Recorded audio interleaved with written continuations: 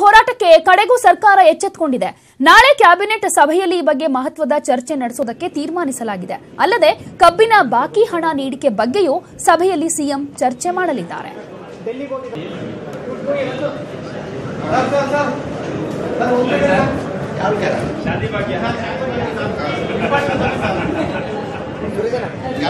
ಕಬ್ಬು ಬೆಳೆಗಾರರು ಈಗಾಗಲೇ ಹೋರಾಟವನ್ನ ತೀವ್ರ ಸ್ವರೂಪವನ್ನ ಪಡ್ಕೊಳ್ಳುವಂತೆ ಮಾಡ್ತಾ ಇದ್ದಾರೆ. ಯಾಕೆಂದ್ರೆ ಸುವರ್ಣಸೌಧದ ಮುಂಭಾಗದಲ್ಲೇ ಸಾಕಷ್ಟು ರೈತರು ಬಂದು ಪ್ರತಿಭಟನೆಯನ್ನ ಮಾಡ್ತಾ ಇದ್ದಾರೆ.